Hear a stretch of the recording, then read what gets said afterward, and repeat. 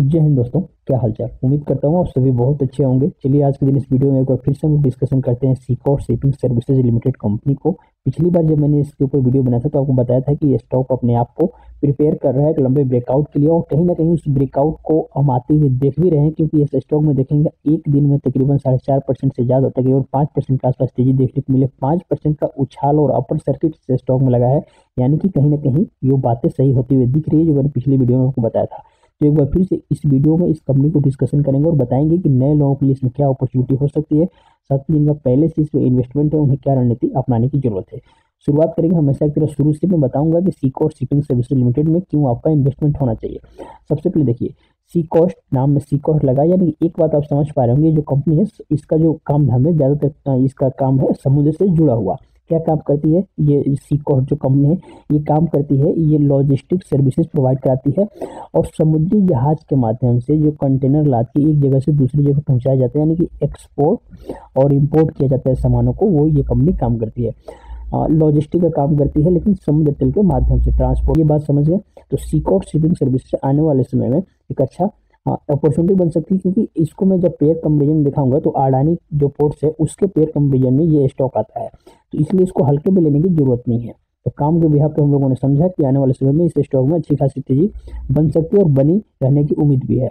अब चलिए अब फंडामेंटल को देख लेते हैं। तो फंडामेंटल में देखेंगे, तकरीबन एक सौ छिहत्तर करोड़ के आसपास कंपनी का वैल्यूएशन है और स्टॉक का पी बहुत कम है। मैंने बताया है कि स्टॉक का पी जितना कम, उतना अच्छा माना जाता है। तो पी कम है यानी कि अभी सही समय है इसमें इन्वेस्टमेंट करने के लिए। और जब हम लोग टेक्निकल एनालिसिस करेंगे तो वहाँ पर भी पता करेंगे कहाँ पर इसको उठाना है। शेयर प्राइस भी आ, इसके जो पी है उसके हिसाब से यानी कि वैल्यूएशन भाई ठीक ठाक है साढ़े तीन रुपये के करीब है और बुक वैल्यू से शेयर प्राइस ज़्यादा है तो यह भी अच्छी बात है। हमेशा कंपनी का जो शेयर प्राइस है ना बुक वैल्यू से ज़्यादा होना चाहिए। सबसे कमाल की बात तो ये है कि कंपनी का जो रिटर्न ऑन इक्विटी है और जो आरओसी है यह देखेंगे।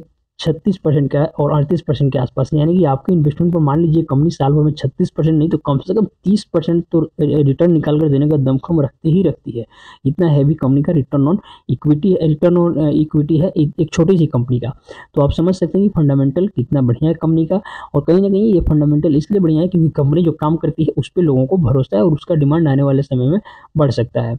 अब आज चलिए बढ़ो टेक्निकल एनालिसिस के माध्यम से समझ लेते हैं कि कंपनी का चार्ट क्या बोलता है और हमें क्या करने की ज़रूरत है।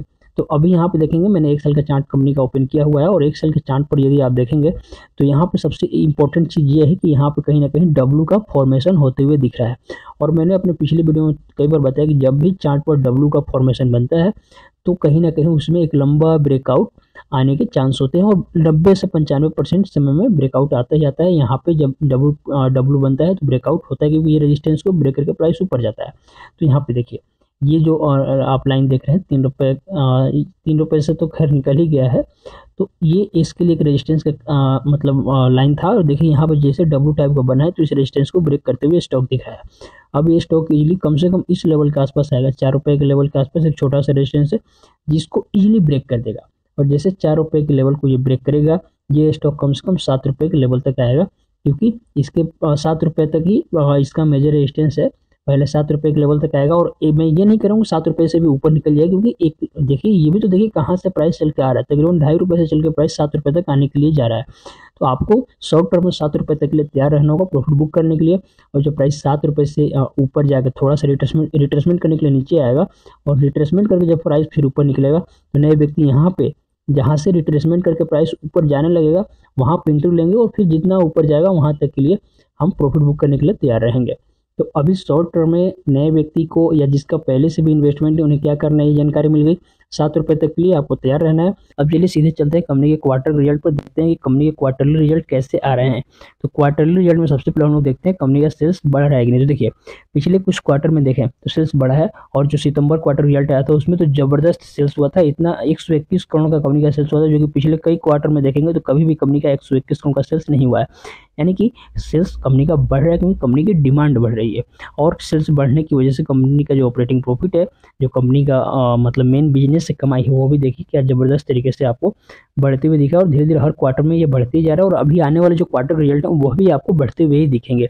इन्हीं सब जो मतलब बढ़ रहा है रिटर्न और कंपनी का ऑपरेटिंग प्रॉफिट मार्जिन उसका नतीजा है कंपनी का जो नेट प्रॉफिट होता है, जो टैक्स वक्स देने के बाद कंपनी के पास बचता है वो अभी आपको बढ़ते हुए ही दिखेगा पिछले कुछ क्वार्टर में। ओवरऑल एक चीज़ तो हमें स्पष्ट हो गई कंपनी का जो फंडामेंटल है, वो काफ़ी बढ़िया है और फंडामेंटल धीरे धीरे और मज़बूत ही हो रहा है। उम्मीद करता हूँ सीकॉट शिपिंग सर्विसेज़ लिमिटेड के बारे में जो बातें मैंने आपको बताई अब अच्छे से समझ पा रहे होंगे।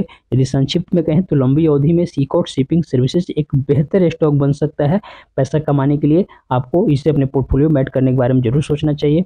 इसके बारे में कोई भी सवाल है तो कमेंट में ज़रूर पूछिएगा। व्यक्तिगत रूप से जुड़कर बातें करने के लिए मुझको आप इंस्टाग्राम पर फॉलो कर सकते हैं। मिलते हैं अगली वीडियो में। तब तक के लिए धन्यवाद, शुक्रिया।